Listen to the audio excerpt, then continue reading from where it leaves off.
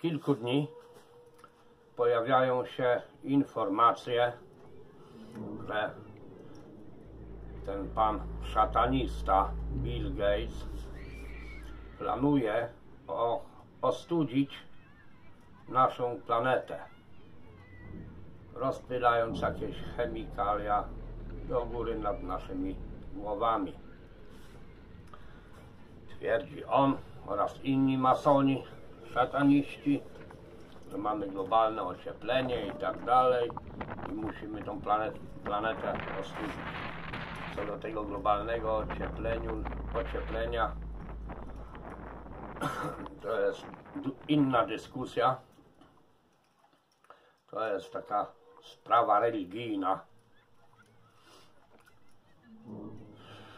Według mnie nie ma żadnego ocieplenia, ale tak jak powiedziałem, to jest sprawa religijna. Jak ktoś chce, to niech wierzy w to globalne ocieplenie, a kto nie chce, to niech nie wierzy. Ale to jest inny temat, nie będziemy dziś o tym rozmawiać.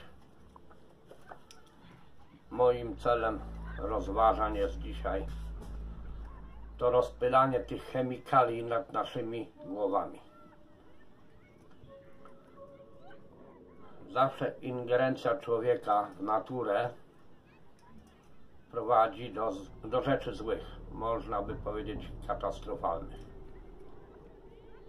Nie spodziewam się, że tym razem będzie lepiej. Jaki może być skutek ochłodzenia klimatu na Ziemi, jeśli to zrobią? Z tego co wiem, chyba od czerwca planują ochładzać naszą planetę. Czego możemy się spodziewać? No, przede wszystkim, jak sami mówią, ochłodzenia klimatu. Czyli jak kiedyś mieliśmy lato 3 miesiące, jak byłem dzieckiem, były upały, gorączki. Teraz lato mamy 3 tygodnie. W pozostałym czasie to mamy cały czas jesień. W okresie letnim pogody są jesienne. Prawdziwego upalnego lata to jest 3 do 4 tygodni. No ale oni chcą to jeszcze bardziej nam skrócić. Także możemy się spodziewać, że lata w ogóle nie będziemy mieć. Może tylko kalendarzowe. W rzeczywistości zobaczymy jak będzie.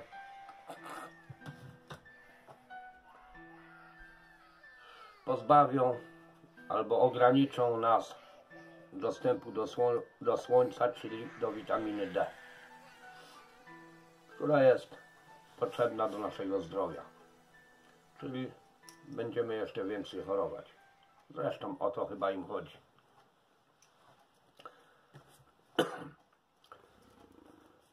Jest jeszcze coś, co mnie zastanawia. Jaki to może mieć skutek? Mam nadzieję, że się mylę. Nie jestem jakimś przecież naukowcem, geologiem, czy jeszcze nie wiadomo kim. Nie znam się na tym, ale zastanawiam się, czy ochłodzenie klimatu, czy ciemnienie nieba nie będzie miało wpływu na ruch obrotowy Ziemi. Coś mi się tak wydaje, że Ziemia może spowolnić. Tej chwili Ziemia obraca się wokół swojej osi z prędkością 1674 km na godzinę.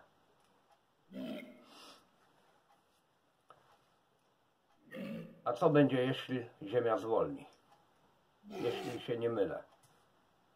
Pewnie się mylę, bo jak wspomniałem, nie jestem żadnym naukowcem, żadnym geologiem, czy fizykiem, czy kimś takim, więc, więc miejmy nadzieję, że się mylę. To są tylko moje spekulacje, a nie fakty. Ja tak sobie wyspekulowałem, że przyciemnienie nieba, ograniczenie dostępu do Słońca może mieć wpływ na ruch obrotowy Ziemi, na spowolnienie Ziemi. Dlaczego tak myślę? Co powoduje, że Ziemia się obraca? Wewnątrz Ziemi jest tak zwane jądro Ziemi, y, no jądro Ziemi, które powoduje obracanie się Ziemi. Y, Żeby tak się działo, to jądro potrzebuje prądu. Podobnie jak silnik elektryczny. Bez prądu ani rusz. Skąd się prąd bierze w jądrze Ziemi? No właśnie ze Słońca. Ziemia, jak wszyscy wiedzą, nawet uczniowie w szkole podstawowej, ma dwa bieguny, północny i południowy. Czyli jak bateria. Plus i minus.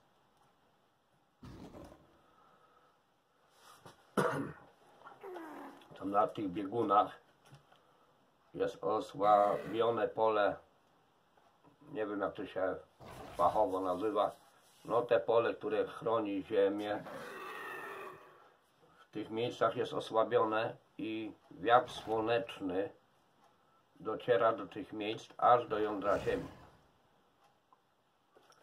Wiatr słoneczny jest złożony z cząsteczek naładowanych ene- energetycznie, naładowanych prądem.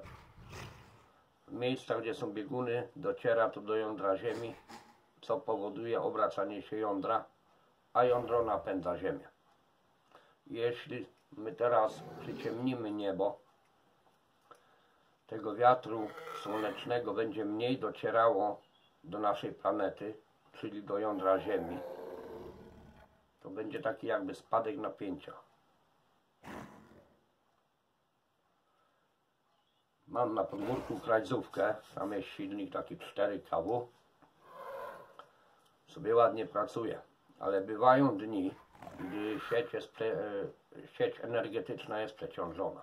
Chociażby w domu więcej sprzętu, gdy powłączam, jest większy pobór prądu, to jest spadek napięcia i ten silnik przy krajzówce zaczyna wolniej pracować, a zarazem jest słabszy. Podobnie jest z jądrem Ziemi. Jeśli my ograniczymy napięcie, ograniczymy prąd, to osłabnie i spowolni, a zarazem może Ziemia spowolnić. Mam nadzieję, że się mylę. A co jak Ziemia spowolni? Załóżmy, teoretycznie. Jaki to będzie miało wpływ na Księżyc, który ściśle jest powiązany z naszą planetą?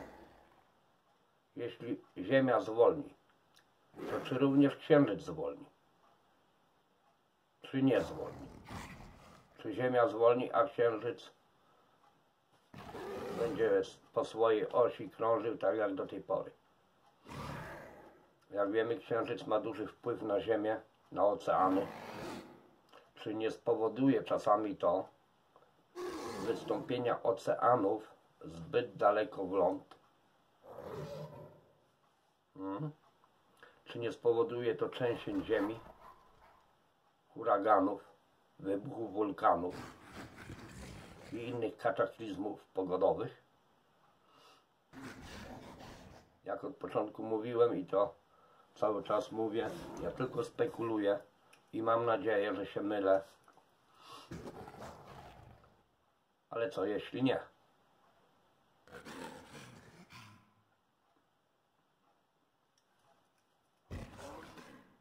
Co będzie? Zobaczymy. Bo tak naprawdę nie wiemy. Ci oszuści, szataniści, maso, masoni, oni nam prawdy nie powiedzą. Oni mają swoje cele. Więc nie możemy się spodziewać, że powiedzą naprawdę. Oni nam mówią swoją prawdę. Więc możemy tylko czekać i obserwować, co będzie się działo. Myślę, że to na tyle będzie. Niech każdy sobie rozważy, niech się zastanowi. Może ktoś skończył jakieś szkoły, trochę lepiej się na tym zna. Niech jakiś komentarz napisze, co o tym myśli. Może ktoś zna kogoś wykształconego w tej dziedzinie. Niech też się udzieli jakimś komentarzem. Myślę, że na tyle. Dziękuję za wysłuchanie. Jak zwykle, tradycyjnie zachęcam do zbiórek. SMS-y można Kamilowi wysyłać. Kamil prawie, że nie widzi. Różne sprzęty potrzebuje. SMS-y charytatywne. Informacje w opisie, w dostawie. Numer, na jaki można wysyłać. To kosztuje 6 zł 15 groszy. Sieć telefoniczna do fundacji przekazuje z tych pieniędzy 5 zł. Fundacja też tam coś odlicza sobie, także Kamil w sumie dostaje 4 zł 80 groszy za jeden SMS. No, no ale każdy SMS mile widziany, za co z góry bardzo dziękuję. Można darowizny wpłacać. No i teraz pomału jak się odpi- odpisuje, rozliczenia się robi, to również zachęcam do odpisania 1% podatku. Na Kamila, to ma subkonto Fundacji Avalon. Z góry wszystkim bardzo dziękuję. Pozdrawiam.